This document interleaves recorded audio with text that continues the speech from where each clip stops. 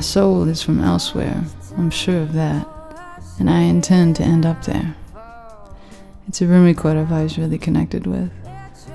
I feel like in music you get in touch with your more honest, your more essential, your truest self, both in listening to music and for me in writing it and performing it as well.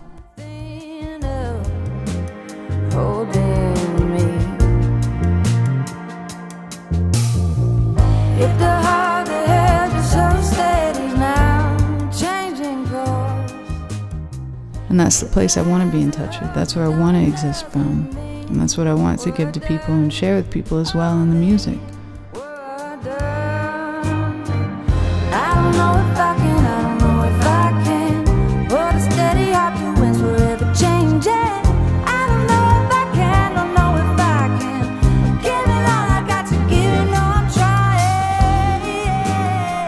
For the songs to be the soundtrack, a, a catalyst to find those places to find your own truths in your own life, to create your own mythology.